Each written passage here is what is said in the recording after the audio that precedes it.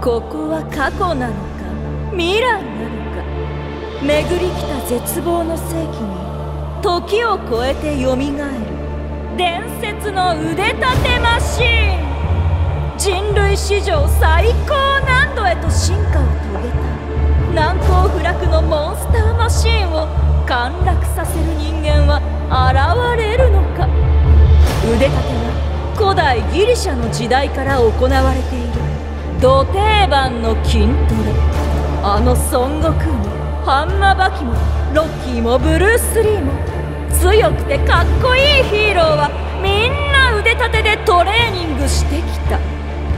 肉体の限界に挑め！地獄の100秒を制し賞金100万円をつかみ取る。世界最強のプッシュアップ・ザ・ヒーロー！